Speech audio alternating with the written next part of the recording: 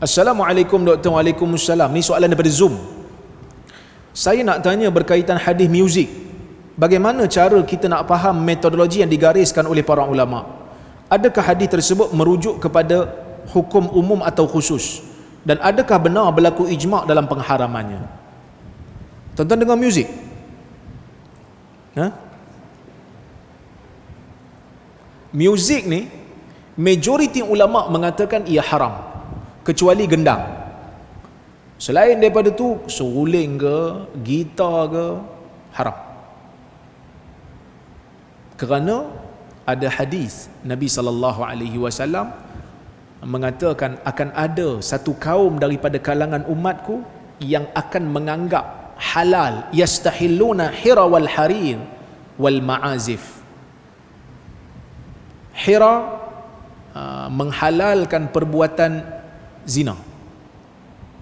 Dan mengharam, uh, menghalalkan sutra bagi lelaki dan juga menghalalkan muzik.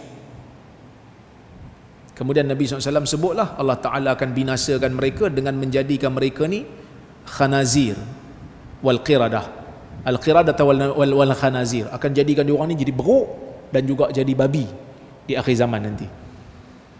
Jadi majoriti ulama kata muzik ni haram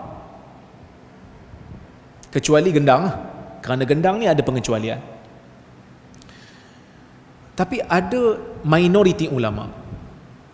Antaranya Ibn Hazmin dan ada seorang tabi'in saya lupa nama dia. Dia menganggap muzik ini secara dasarnya tidak dilarang. Tak dilarang. Yang dilarang itu adalah apabila muzik itu diiringi dengan arak dan juga pelacuran. Sebab zaman dulu mereka mereka ni dok faham hadis tu dia ada latar belakang dia. Dia ada latar suasana yang melingkari hadis tu. Kita akan masuk bab tu nanti.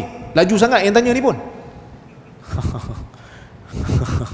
Tak apa baguslah tu dia minat kan.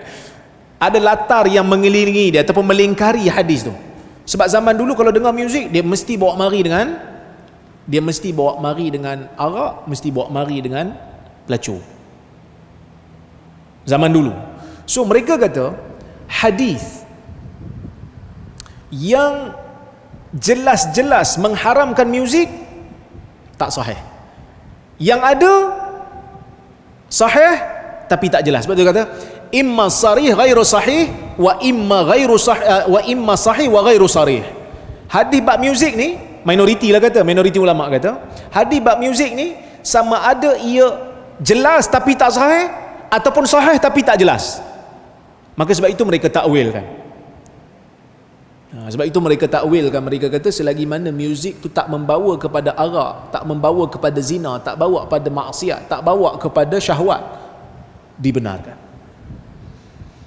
Itu dua pandangan lah. So pandangan yang kata haram itu mereka berpegang kepada zahir hadis secara mutlak manakala golongan minoriti mereka melihat dari sudut latar hadis tu.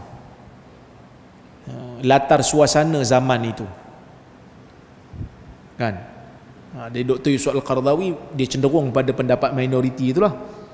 Ha, minoriti itu manakala ramai kat ulama-ulama kita dekat Saudi dia dia memang tak boleh lah muzik ni haram.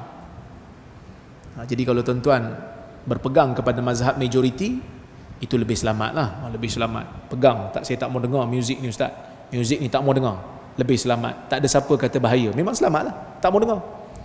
Tapi kalau kata saya nak pegang pendapat minoriti ustaz.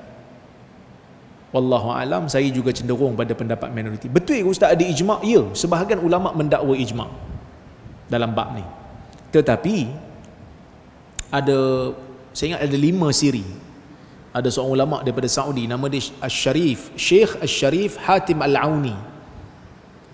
Dia ada bahas bab ijma' ni dan dia berjaya buktikan khilaf telah berlaku di zaman uh, di zaman salaf lagi. Di antara keharusan ataupun pengharaman muzik ni telah berlaku khilaf daripada awal. Uh, maka ijma' itu tidak berlaku setelah dikaji dan disemak.